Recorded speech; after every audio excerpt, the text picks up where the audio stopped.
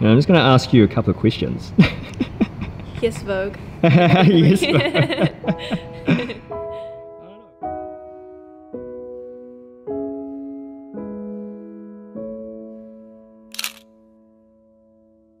I don't know. Was it about acting that you like? Hmm. Almost everything. Yeah. I think at this point, I like the connection of.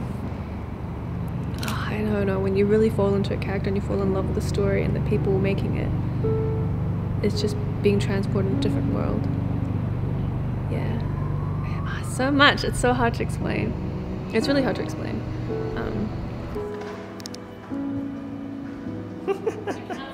Who you say your inspirations? Some of your inspirations are. I would say Choi Woo-shik. Yeah. Nana Komatsu, Han So-hee, and Eddie Redmayne. Oh, so many, so many. Even the even the main actress from House of the Flying Daggers, um, Zhang Ziyi.